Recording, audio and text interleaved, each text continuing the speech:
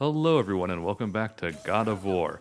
We're still making our way up our uh, icicle mountain to drop a hammer on some ice, because that's what just what we got to do, apparently. Yep. So, explain it. Can you guess it? Absolutely. Doesn't involve standing. I, I, I know that these are ropes, but because of the giant frickin' head, like, and the size of the rope fibers, I still can't look at these and not just see dreadlocks or something.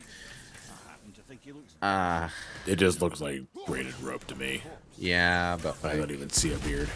you know, it's like the same color as the beard. so, I don't know. Ah, well. There's something over there. This is Yes, a very there's, many, there's many there's many things over there, boy. this is a very God of War set piece though. uh, when we get to the top, anyway, yeah. Freaking huge. Freaking epic. Yes. Also human shaped because of course. Help us break the ice and get to the chisel tip? Smash it with a hammer.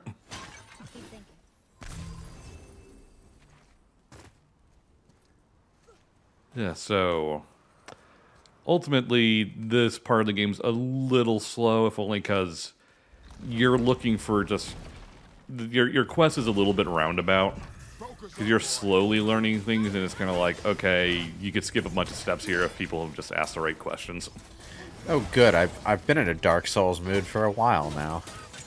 Yeah, this guy's very Dark Soulsy. Say he's not not nearly gangly enough. no, he's a little stocky, but like I could see, like I could see this guy appearing in like Elden Ring or something. No, this is the this is that one player who always shows up in your game to gank you. No, he's not wearing the giant Q-tip head. True. So he's the other guy who shows up in your game to gank you. I'm actually really happy that I played most of that game offline. How was that? Yeah, me too. um, like I don't know, because it's it's kind of a double-edged sword because the one or two times I did have online enabled, I was able to like summon familiars basically and get the help of folks, which did help me with a few boss battles, and that was really fun. Uh, it's just I also left myself open to invasion. I was like, wow, this sucks. it's like I don't like this anymore. I don't. Lo- I I don't really see the social aspects of Dark Souls as worth all that much, and it kind of confuses me that so many people like them. But like, Uh, what do you mean, like, uh, I mean, what is it about it that confuses you? no side in that I mean, the co-op element is fine. It's a little too like limited for me to really see it as something I want to do. But like I'm not a fan of the idea of people invading other people's games to ruin their day, and I'm not sure why anyone else is a fan of that. Unless they actually are Well, trolls. there's always going to be assholes. Yeah, I was going to say, like, um, but like at the same time, the other social stuff, the messages and whatnot, all that is is an immersive breaking way for people to dick with each other, and it's like you know, I've got this this really atmospheric, grim, dark game that I really want to get invested in as a as an RPG adventure experience, and And then you pick up a scrap of paper on the floor in front of a boss, and it says, "Hello, hello, good hunter, Ligma." What? or it tells you that there's a secret if you jump down this hole. Of course, you're not going to do that because you're too smart, right? But uh, but yeah, but what, what if they're right this time? oh, great! Now, now I'm just imagining like the base hunter from Bloodborne, with and like the the doll helper is like Lucy from Peanuts, and he's just running to kick the football, but in this time it's like a pile of blood or something. but you like, see, I would say that you, you you say that you you don't understand why someone would like take enjoyment from like invading other realms, and no, would I, say because I, I how- don't. I don't see why anyone would take enjoyment from having other people invade their realms. Um, Uh, in that way, uh, I mean, I would agree. But the idea of like on the on the reverse end, I always just think of it as because of just how open ended the Souls games are, where your character can literally be whatever the hell it wants to be. uh, It, maybe there's a role playing element to it. Oh, You sure. know, yeah, my character would totally like be. There's a role playing element to uh, uh, uh, uh, context free jumping from one game to another, and helping each other or hurting each other. No, that's not even an in-universe thing. it makes zero sense. I don't really. If it doesn't make sense, it doesn't work for Can you get roleplay. enough in the? Can you get enough from the Souls universe to uh, properly identify what is a proper in-universe thing, though? I think so. Because honestly, there's so much not told to you in that game. But like innately when a concept is really gamey in like a in like the sense that it's it's more of a mechanic than a story element then that concept is something that that that you just sort of have to mentally ignore. Otherwise it messes with the idea of the story you know? Like for example in fallout new vegas you just have to quietly not think about the fact that since you took the the traits that give you extra dialogue options with both genders you also get 10% damage boosts to all human enemies for no reason you know? Um and i don't really i don't really see how you can naturally harmonize the gaminess of invading other people's single player games with random multiplayer lobbying um with the kind of atmosphere Dark Souls has it just doesn't compute in my brain and I don't like it it, it like I think it's. I, I think it might be just another element of the unknown that you don't know when to expect. Because that's a big thing about the Souls games is that because you're literally not told anything, I mean you have to venture through everything on a whim, basically. I suppose and I Maybe that's what they were trying to capitalize. I can see that. I can see that being a nice addition on subsequent playthroughs when you already know the game. I suppose, uh, but like, I don't take it any more seriously than say the magical girl costume in Silent Hill Three. So, um, No, that's just silly.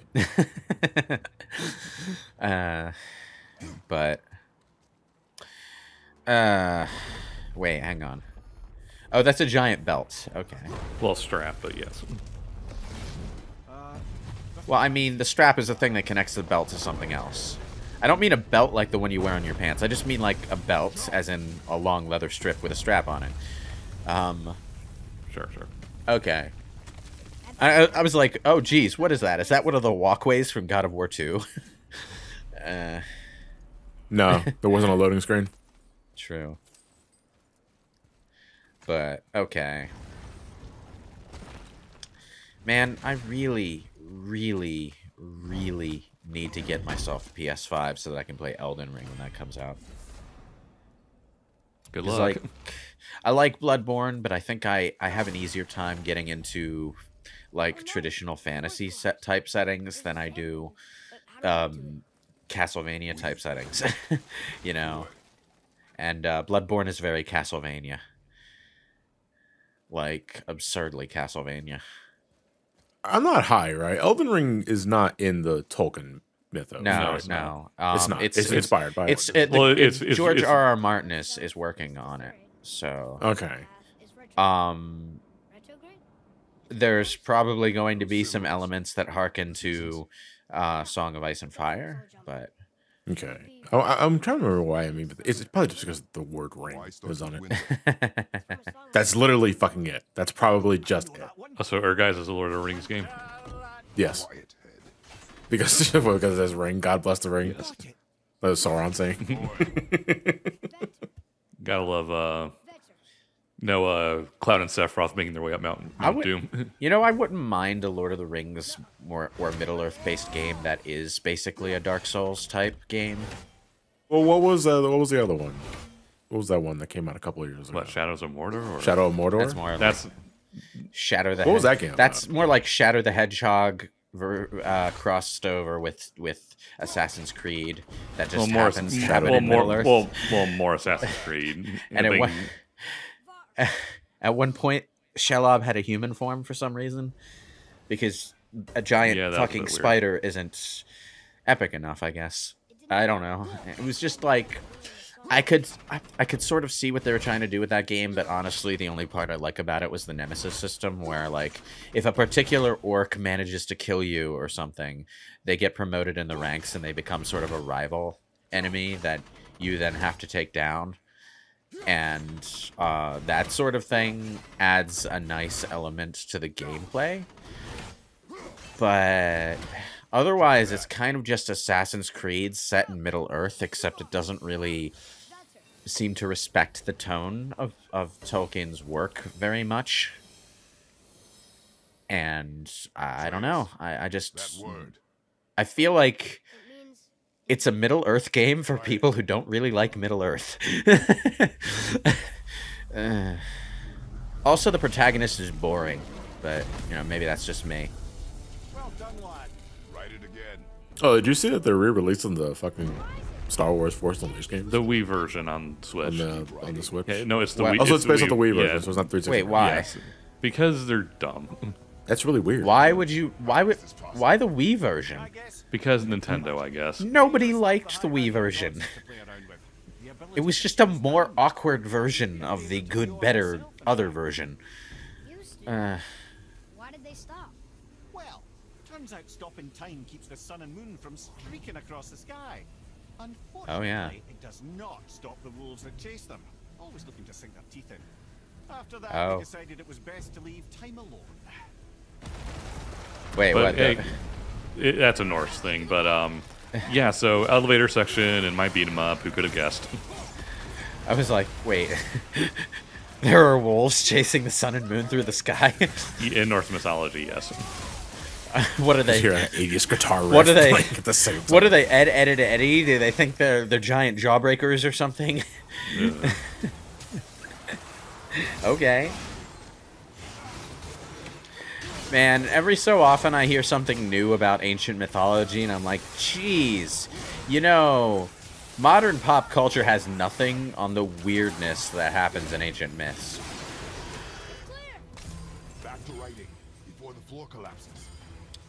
It's not even a question of, oh, you wouldn't be able to get away with these stories because they're not politically correct enough in 2022. It's more they're no, batshit it's, insane. It's just they're batshit insane, yes. like, oh, Jesus. Like in Shinto, all the gods were born because Izanagi went down into the underworld, was so spooked by his wife's undead face that he ran back out and had to purify himself. And like all like the the frickin' impurities turned into gods because that's how Shinto works. Everything turns into a god. Every little fucking thing turns into a god. I just got the idea of this guy like running back to his home and just drowning his eyes in bleach. He might have at some point, and then his eyes probably turned into Yeah. two. Then the bleach bottle became a god. The bleach the- bottle the- and both of of his bleach. eyes and all the stuff that he washed out of his eyes all became 20 separate gods. I, I wish I was exaggerating, but probably that's how it would have turned out. Um. Keep writing, boy.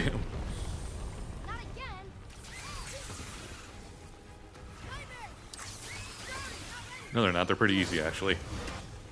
Really strong name for an enemy. That's really not a problem.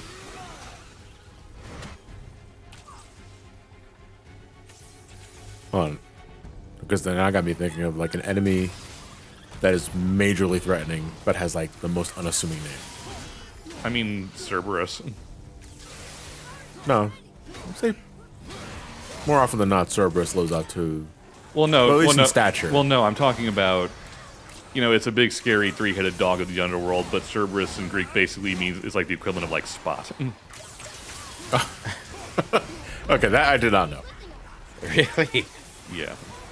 I'm talking more like in any sort of media, a thing had a really unassuming name, but it was also like, oh, uh, you don't want to mess with that at all. Yeah. I think I've probably got like five examples swimming in my head, and I can't just choose one. Yeah. Almost to the top. I get you.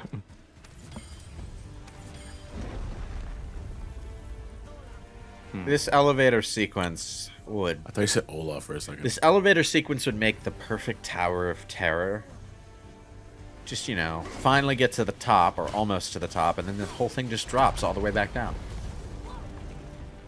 Kratos uh, strikes me as someone who would just spend all his time at Epcot, though. Well, he'd be drinking around the world for sure, so. Yeah.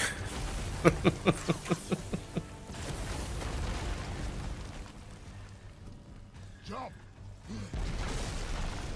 Yay, we made it. You ruined the point of the ride, Kratos. I hope you realize. Look, don't worry, we got fast pass. You're gonna get sued, Kratos.